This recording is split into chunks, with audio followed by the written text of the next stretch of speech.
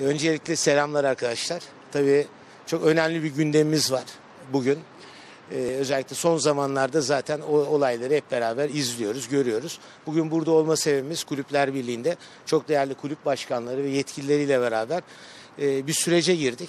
Bununla ilgili de özellikle 18 Temmuz olarak ifade edilen ama resmi bir karar olmadığını gözlemlediğimiz kararla ilgili bu sürecin çok daha önceden federasyon ve tüm kurullarıyla beraber seçime gitmesi. Ben 18 Temmuz kararını Sayın Başkanımız ve tüm yönetim kurulundaki arkadaşlarımız ve tüm camia olarak çok geç buluyoruz. Aslında bugün imza için pazartesi iti- itibariyle Beşiktaş Kulübü de tüm delegeleriyle beraber 7 kişi olarak imzasını atmış olacak. Ee, bugün aslında bu konuştuğumuz konu Beşiktaş belki imzayı pazartesi atacak ama aylardır belki imza olarak değil ama zihinlerde bu imzayı attı.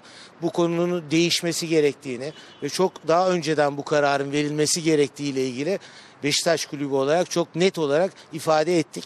E bugün geldiğimiz noktada ne yazık ki tüm olumsuzlukların yaşandığı, hiç yaşanmadığı kadar e, sıkıntılarla karşılaştığımız bir sezonu yaşıyoruz.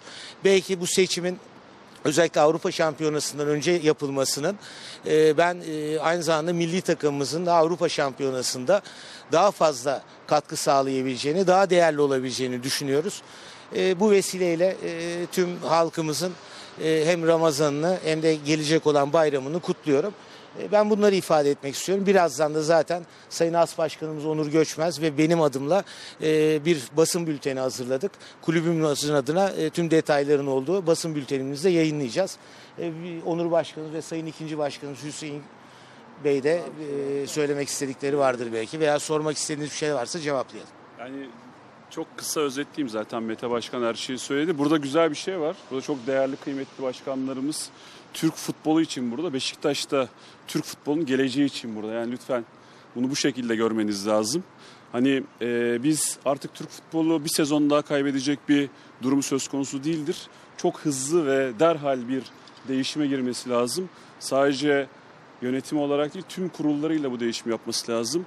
Tüm futbol şubesi başkanlarımız ve Beşiktaş Türk futbolunun geleceği için buradadır. Bunun da altını çizmek isteriz. Herkese iyi bayramlar dilerim. Ee, tabii En kısa zamanda şimdi belli bir tüzük var. Belli bir toplanması gereken imza gerekirse toplanacaktır.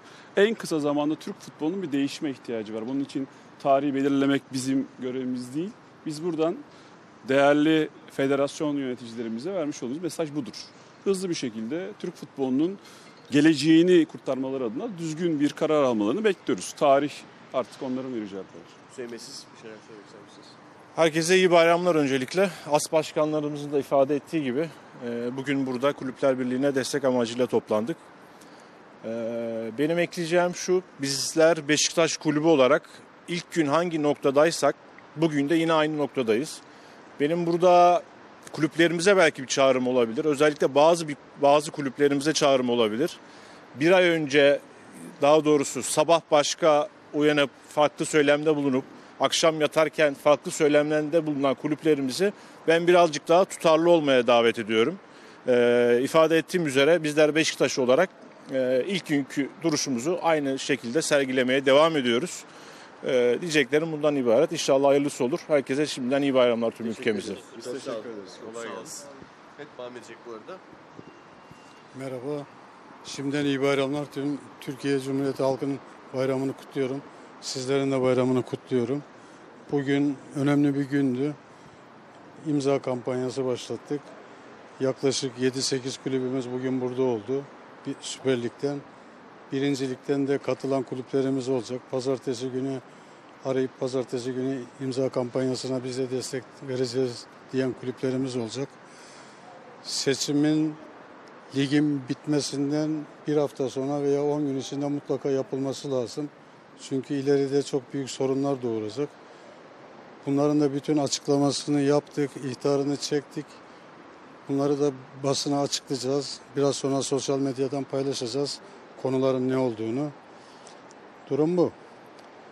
Bugünden tezi yok. Bir an önce gitmeleri lazım. Şu ana kadar delegelerle alakalı belli bir sayı var mı? Kaç kulüp? Şu anda yaklaşık imza var? 60-70 kulüp var. Bugün itibariyle Şu anda 60-70 delege var. 60-70 delege. Var. Peki ulaşılması gereken delege sayısı orada bir muamma var. 122 diyen var, daha düşük diyen var. Bir bilginiz var mı? Onu bayram to- toplantı yeter sayısı için yüzde 40, yaklaşık yüzde 130 civarında bir delege. Karar içinde yani olan seç, e, seçimli olan genel kurulda ise yüzde 50 artı bir. O da yanlış hatırlamıyorsam 165 delegeye yakın bir delege olması gerekiyor. Bugün itibariyle 8 kulüp bu imzayı verdi. İki tane ihtarname var. Birincisi e, Sayın Mehmet Büyükekşi'nin açıklamış olduğu e, kamuoyuna duyurduğu 7 e, Nisan itibariyle kamuoyuna duyurduğu tarih resmi siteden henüz yayınlanmadı. Yönetim kurulunun da almış olduğu bir karar şu an için mevcut değil. Dolayısıyla biz statünün 29. maddesini işleme koyarak bugün bugün itibariyle ihtarnameleri çektik. İstanbul Spor Kulübü olarak da e, ayrıca genel kurul tarihini liglerin bitiminden e, 15 gün sonraya maksimum alınması gerektiğine dair bir ihtarname çektik. Onları detaylı olarak sizlerle paylaşacağız. E, Bunun dışında söyleyecek bir şey yok şu aşamada. Diğer kulüpler de tahmin ediyorum bayramdan sonra e, bizim bu sürece katılacaklardır. Bu bayramdan sonraki haftada imzalar fazlasıyla tamamlanacağına inanıyoruz ve ya ne bekleniliyor ya? İmza tamamlansa ne olacak, tamamlanmasa ne olacak? Ne olacak? Neyi bekliyorlar ya? Daha bundan daha beter bir gün olabilir mi? Söylenecek bir şey yok. Çok teşekkür ediyoruz. Her şey Herkesin her şeyi bayramı- kamuoyu biliyor. Her şey kamuoyunun takdirine. Teşekkür Kendinize ederiz. iyi Çok sağ bakın. olun.